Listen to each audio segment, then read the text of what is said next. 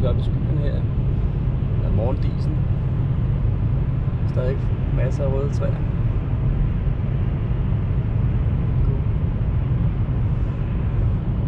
Hvor er vi henne nogenlunde?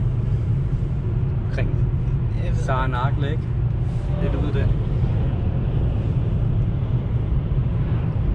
Det er selvfølgelig ikke